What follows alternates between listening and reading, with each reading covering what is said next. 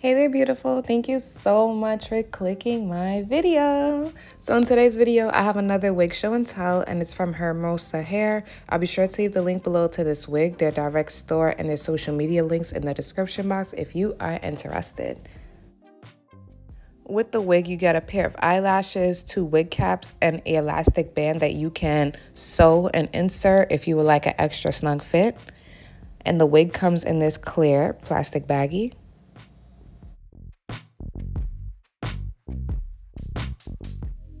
Here is a close-up of what inside of the wig looks like. It comes with a 13 by 4 parting space. Behind the parting space, you get three combs. You get another comb in the nape area with adjustable straps. As for the cap material, it is a stretch fit material.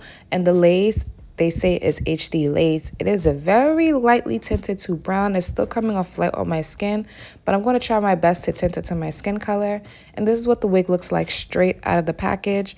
It is 26 inches. The hair density is 220%. As for the hair color, I would say it's a natural black and the hair texture feels silky. The hair curl pattern is deep wave. Here's a close-up on the hairline. The hairline comes lightly, lightly pre-plucked, but the knots do not come bleached. And as for baby hairs, you get a few baby hairs on the hairline. I think it's mostly by the forehead, though. It's not all over the hairline. I washed the wig and I left it to air dry overnight, and this is what it looks like the next day. With this wig, I'm going to keep the styling very simple so it can be beginner friendly. I'm just going to do a right side part. After I put my parting space, the top is looking a little humpy. So I'm going in with my Andis hot comb and the temperature setting that I have it on is 20. And I'm just pressing down the roots of the hairline and by the parting space.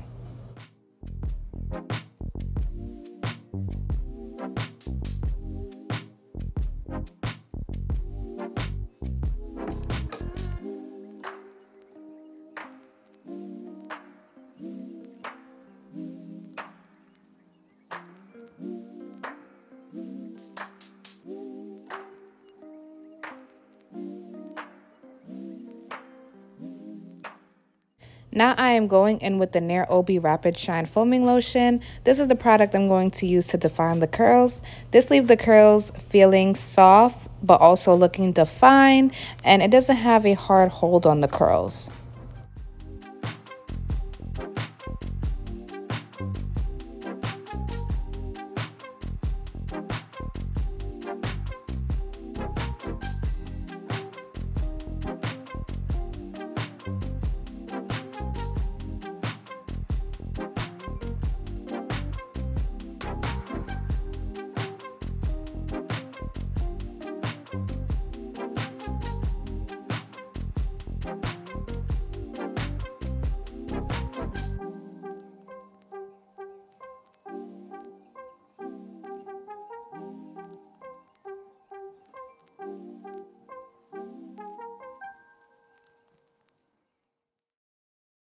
Now that I'm all done defining the curls, this is how it looks in the end. I'm going to leave it overnight to air dry. But before I do, I'm cutting off the extra lace in the front. I'm going in with eyebrow scissors. So I'm just taking the scissors and cutting right along the hairline. Be careful to not cut into the hairline because that will, you know, mess up the shape of the hairline and also cause shedding. And I'm cutting in little zigzag motions.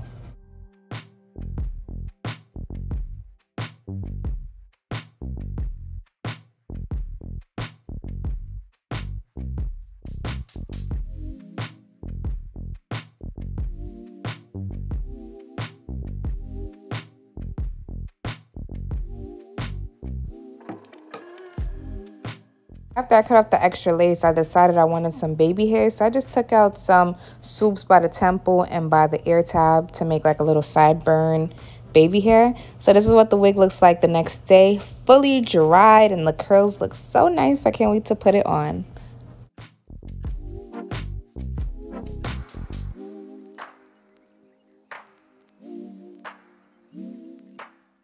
Underneath the lace, I applied some makeup powder, but only to the spots I'll be showing. So that's the parting space and the hairline.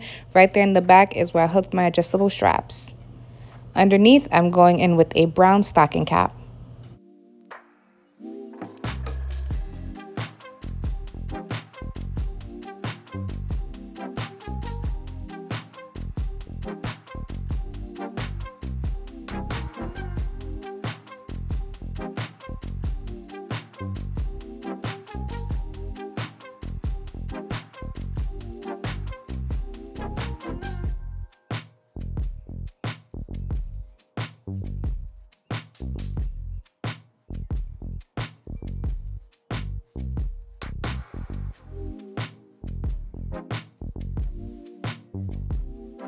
For this wig show and tell, I would like to spray down the ear tab. So I'm going in with this Bed Head Hard Head spray. And I'm just going to spray one layer of this on top of the lace by like the ear tab up to my temple.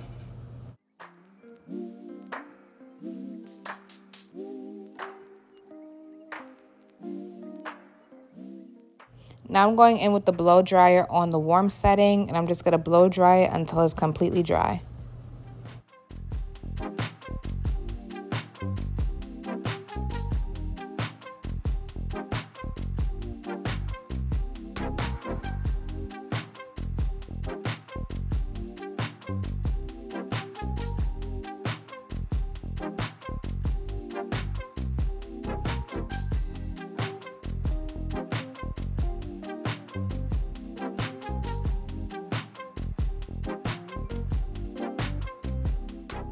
I didn't put any spray on the forehead. The lace is just sitting on my forehead as you guys can see. And the lace doesn't blend in too bad with my skin. So you can rock it glueless. I would just recommend spraying down the ear tabs or you can even insert um, your own elastic band. So now I'm going to go in with that Nairobi Wrap-It Shine Foaming Lotion again and use that to style my baby hairs. But I'm cutting down the baby hairs because they're a little too long for my liking.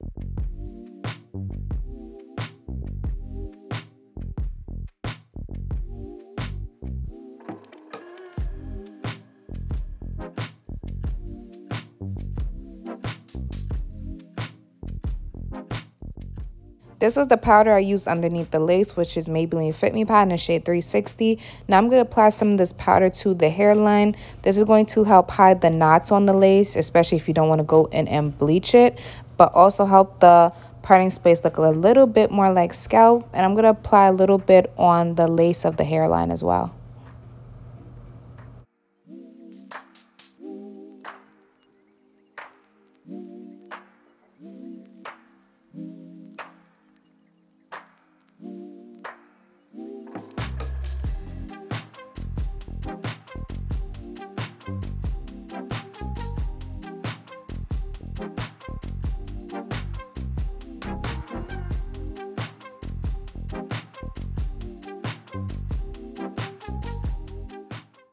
All right love right here is my end results and i wanted to keep the install beginner friendly.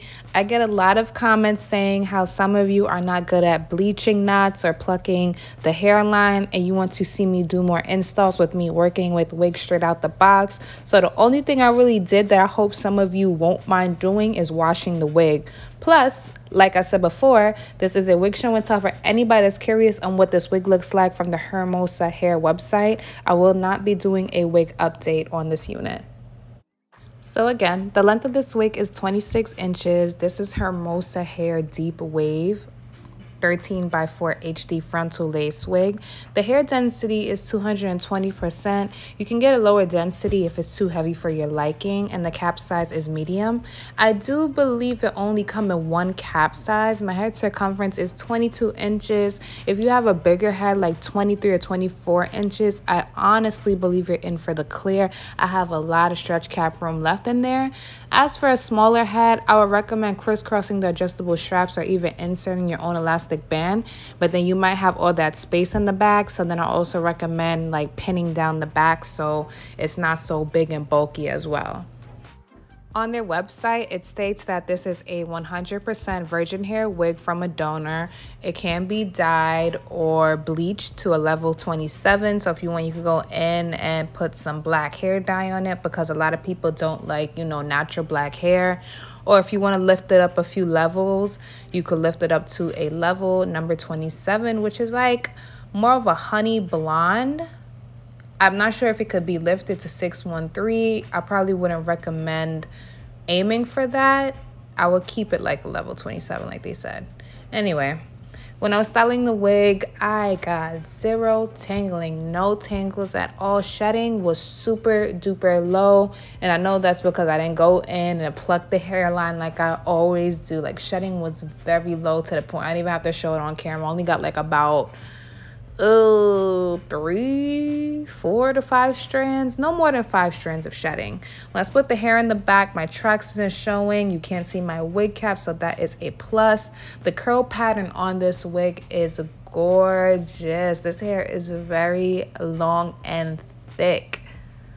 I also really like how the ends have a nice blunt healthy cut. The lace on this wig is soft and blendable once you get it to match your skin tone. The hairline on this wig have a nice shape to it. And what I mean by that is even though the hairline is not overly plucked, it still looks a little bit realistic. It doesn't have a square shape hairline like a lot of other wigs out there. The other four inches of parting space going towards the back is nice as well in my opinion. It's a super cute wig. The only thing is I would love the hairline to be plucked a little bit more to my liking, but I'm keeping it beginner friendly. You can always go in and pluck the hairline, even bleach the knots as well if you want. Once I cut the extra lace in the front, I do not go in and pluck the hairline again, so it is what it is. So this was a very easy install for me. I hope this video helps someone out on their next wig choice. If you have any questions, feel free to comment below in the comments. Let me know your thoughts on the wig as well. Subscribe if you would like more wig reviews and wig show and tells. Thank you so much for your time and enjoy the rest of your day, beautiful. I'll see you guys later.